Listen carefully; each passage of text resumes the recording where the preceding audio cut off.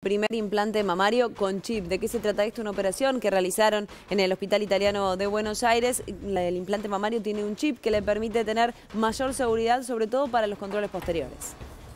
Esta novedosa prótesis garantiza mayor seguridad tanto en el momento de la cirugía como en los controles posteriores.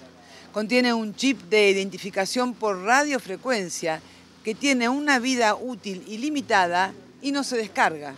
Es un microchip, un transponder, que concretamente lo que hace es eh, da información. Puede ser leído por un receptor que externamente, digamos, vincula al, chip, inclusive con los datos de la fábrica. Hasta nos puede dar información también de la identidad del propio paciente, en casos excepcionales, por ejemplo, pérdida de conciencia del paciente o alguna situación así.